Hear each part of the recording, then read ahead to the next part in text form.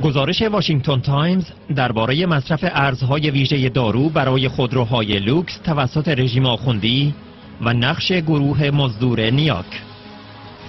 به گزارش واشنگتن تایمز رژیم آخوندی ارزی را که به منظور تأمین داروهای مورد نیاز مردم دریافت می کند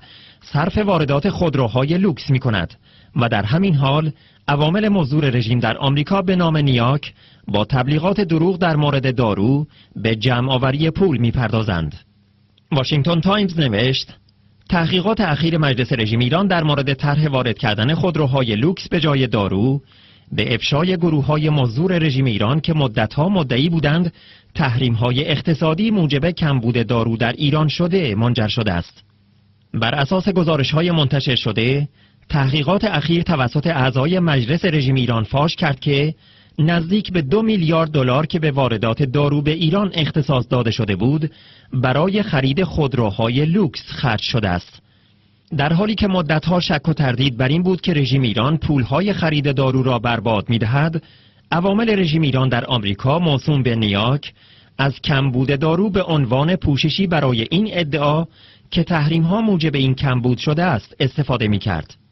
نیاک به ریاست تریتا پارسی که از رژیم ایران حمایت می کند به این دعاوی ادامه داده و از این بابت پول جمع آوری کرده است. این امر موجب انتقاداتی از جانب کسانی شده است که می‌گویند ماشین تبلیغاتی این گروه با فریبکاری قانونگذاران و رسانه های آمریکایی را گمراه می کند. ادعاهای مکرر نیاک مبنی بر اینکه تحریم های آمریکا منجر به کمبود دارو در ایران شده در رسانه های غربی نیز منعکس شده و حتی این موضوع در جلسه ای در کاخ سفید با مقامات دولت آمریکا نیز در میان گذاشته شده است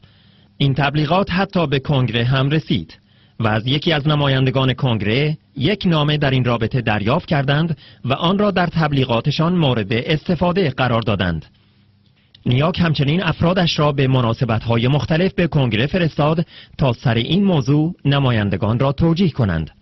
در سال گذشته در یکی از همین برخوردها اد رویس رئیس کمیته خارجی کنگره آمریکا نماینده نیاک را به خاطر تبلیغات غیرواقعی در مورد کمبود دارو در ایران توبیخ کرد. واشنگتن تایمز می نویسد خبرهای مربوط به وارد کردن خودروهای لوکس توسط رژیم ایران سوالاتی را در مورد واقعیت داستان سرایی های نیاک حول کمبود دارو در ایران که یک سال تمام ادامه داشت برمیانگیزد.